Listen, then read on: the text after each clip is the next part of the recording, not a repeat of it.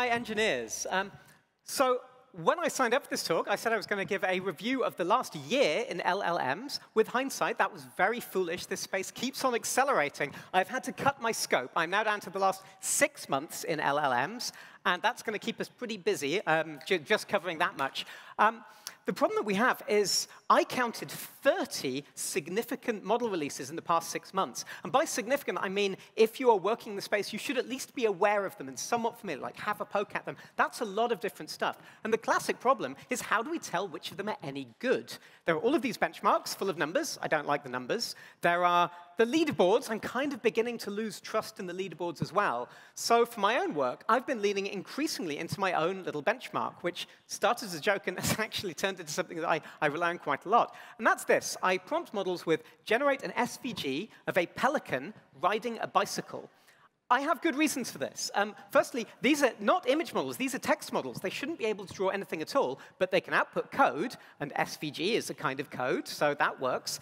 Pelican riding a bicycle is actually a really challenging problem because, firstly, try drawing a bicycle yourself.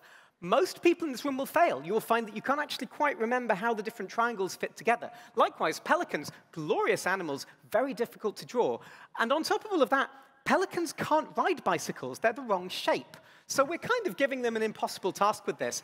What I love about this task, though, is they try really hard, and they include comments. So you can see little comments in the SVG code where they're saying, well, now I'm going to draw the bicycles, draw the wheels, I'll try and... It's, it's kind of fun. Um, so rewind back to December. December in LLMs was a lot. A lot of stuff happened. Um, the first release of that month was AWS Nova, Amazon Nova. Amazon finally put out models that didn't suck. They're quite good. They're not great at drawing pelicans. Like, the, the, the, pelicans are unimpressive, but these models are a million token context. They behave like the cheaper Gemini models. They are dirt cheap. I believe Nova Micro is the cheapest model of all of the ones whose prices I'm tracking. So they are worth knowing about. Um, the most exciting release in December, uh, from my point of view, was Llama 3.370B. So the B stands for billion. It's the number of parameters. I've got 64 gigabytes of RAM on my Mac. My rule of thumb is that 70 is about the most I can fit onto that one computer. So if you've got a 70B model, I've got a fighting chance of running it. And when, when Meta put this out, they noted that it was behave, it had the same capabilities as their 405B monstrous model that they put out earlier. So, and that was a GPT-4 class model. This was the moment six months ago when I could run a GPT-4 class model on the laptop that I've had for three years. I never thought that was going to happen. I thought that was impossible. And now Meta are granting me this model, which I can run on my laptop, and it does the things that GPT-4 does. Can't run anything else. All of my memory is taken up by the model, but still pretty exciting. Again, not great at pelicans on bicycles. That, that's kind of unimpressive. Christmas Day we had a very notable thing happen. DeepSeek, the Chinese AI lab, released a model by literally dumping the weights on Hugging Face, a binary file with no README, no documentation. They just sort of dropped the mic and dumped it on us on Christmas Day, and it was really good. This was a 685B giant model, and as people started poking around with it, it quickly became apparent that it was probably the best available open weights model, was freely available, openly licensed, and, and just dropped on Hugging Face on Christmas Day for us. That's, I mean, it's not a good Pelican on a bicycle, but compared to what we've seen so far, it's amazing, right? This is, we're finally getting somewhere with the benchmark. Um, but the most interesting thing about V3 is that the paper that accompanied it said the training only costs about $5.5 million. And they may have been exaggerating, who knows, but that's notable because I would expect a model like of this size to cost 10 to 100 times more than that. Turns out you can train very effective models for way less money than we thought. It's a good model. It was, it, was, it, was, it was a very nice Christmas surprise for everybody.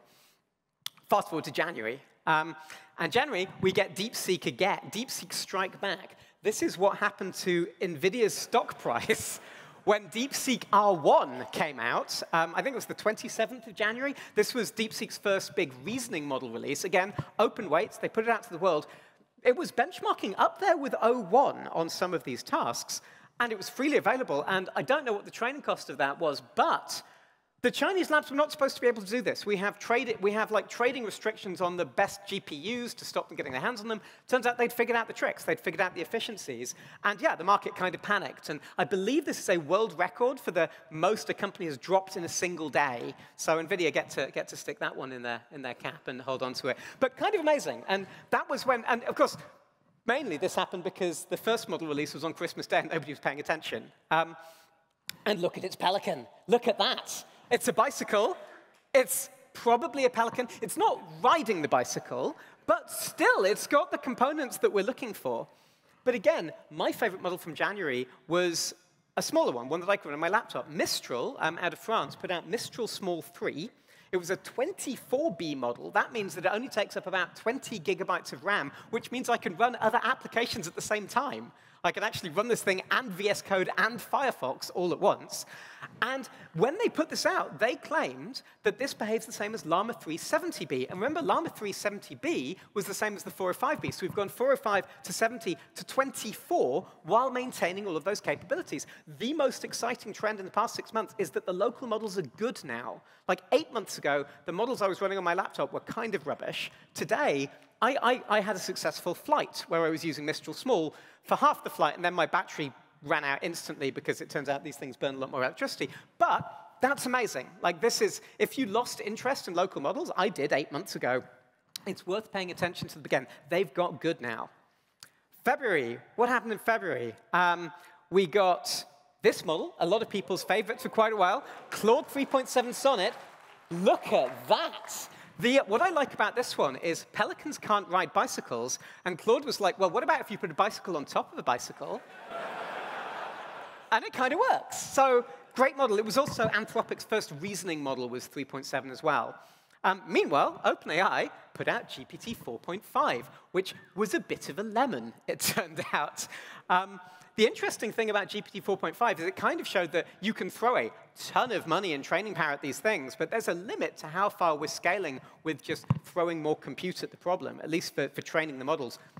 It was also horrifyingly expensive. Um, $75 per million input tokens. Compare that to OpenAI's cheapest model, GPT-4 Nano. It's 750 times more expensive. It is not 750 times better. Um, and in fact, OpenAI, six weeks later, they said they were deprecating it. It's, it's, it, it, was very, it was not long for this world, 4.5. But looking at that pricing is interesting because it's expensive, 75 bucks. But if you compare it to GPT-3 Da Vinci, the best available model three years ago, that one was $60. It was about the same price. And that kind of illustrates how far we've come. The prices of these good models have absolutely crashed by a factor of like 500 times plus. And that trend seems to be continuing for most of these models. Not for GPT 4.5, and uh, not for O1. Uh, wait. No, and, and then we get into March, and that's where we had O1 Pro. And O1 Pro was twice as expensive as GPT 4.5 again, and that's a bit of a crap pelican. So yeah, I'm not, so I don't know anyone who is using O1 Pro via the API very often. Um, again, super expensive. Um, yeah, that Pelican cost me 88 cents. like, these benchmarks are getting expensive at this point. Um, same month, Google were cooking Gemini 2.5 Pro. That's a pretty frickin' good Pelican. I mean, the bicycle's gone a bit sort of cyberpunk, but we are getting somewhere, right? And that Pelican cost me like four and a half cents. So very exciting news on the Pelican benchmark front with Gemini 2.5 Pro. Also that month, got to, I've got to throw a mention out to this. OpenAI launched their GPT-4o native multimodal image generation, the thing they've been promising for us for a year, and this was the most successful product, one of the most successful product launches of all time. They signed up 100 million new user accounts in a week. They had an hour where they signed up a million new accounts as this thing was just going viral again and again and again and again. I took a photo of my dog, this is Cleo, and I told it to dress her in a pelican costume, obviously.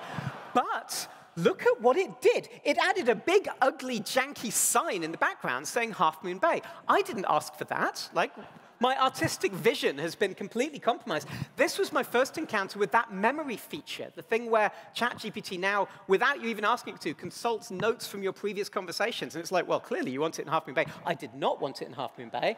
I told it off, and it gave me the pelican dog costume that I really wanted. But this was a sort of a, a warning that we are losing track of the, we're losing control of the context. Like, as a power user of these tools, I want to stay in complete control over what the inputs are. And features like ChatGPT memory are taking that control away from, from me, and I don't like them. I, I turned it off. Um, notable, OpenAI are famously bad at naming things. They launched the most successful AI product of all time, and they didn't give it a name.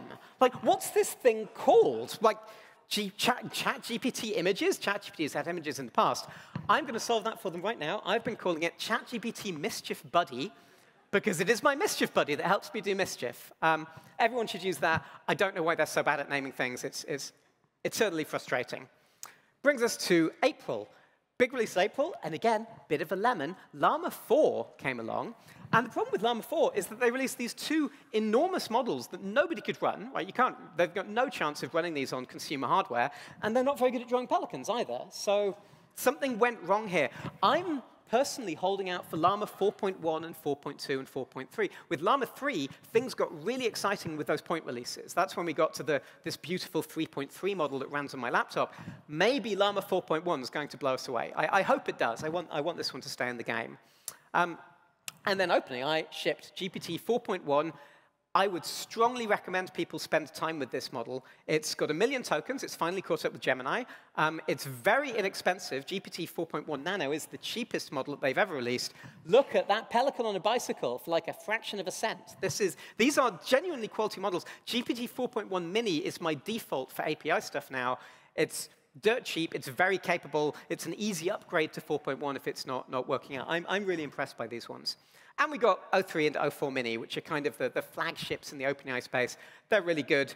Look at O3's Pelican. Again, a little bit cyberpunk, but it's, it's, it's showing some real artistic flair there, I think. So quite excited about that.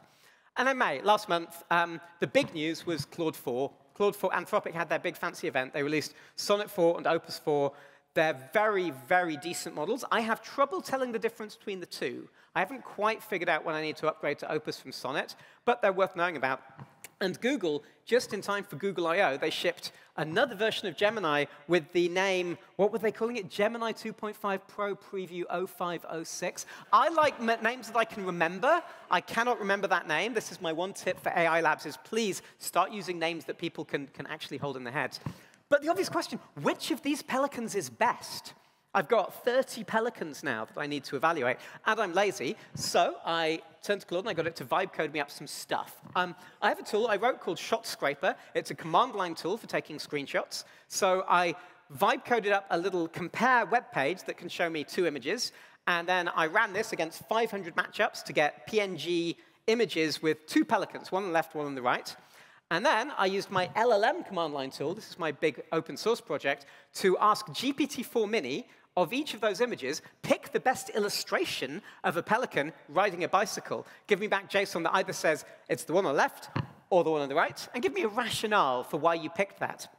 I ran this last night against 500 comparisons, and I did the classic ELO chess ranking scores, and now I've got a leaderboard. This is it. This is the best pelican on a bicycle according to, zoom in there. And admittedly, I cheaped out. I spent 18 cents on GPT 4.1 Mini. I should probably run this with a better model. I think its judgment is pretty good. It liked those um, Gemini Pro ones. Um, and in fact, here's, this is the comparison image where the best model fought the worst model. And I like this because you can see the little description at the bottom where it says the right image is, um, oh, I can't read it now. But yeah, it's that, I, I feel like its rationales are actually quite illustrative.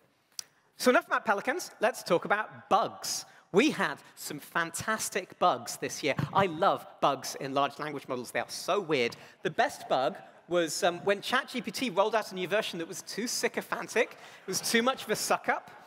And they, genuine, this was off Reddit. Somebody says, ChatGPT told me my literal shit on a stick business idea is genius.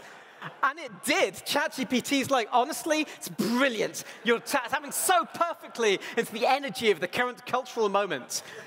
It was, it was also telling people that they should get off their meds. This was a, a genuine problem. Um, OpenAI, to their credit, rolled it. They, they, they rolled out a patch, and then they rolled the whole model back, and they published a fascinating, like 20 paragraph breakdown of what went wrong. If you're interested in seeing behind the scenes, this is great.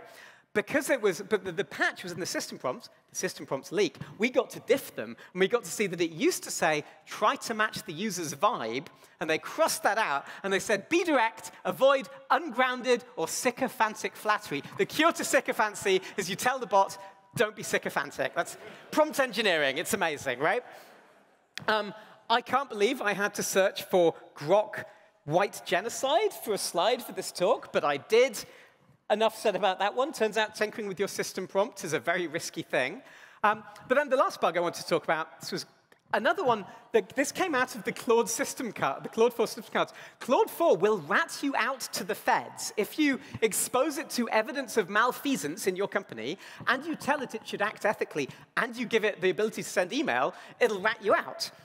But it's not just Claude. Theo Browne put together a, a new benchmark called Snitchbench.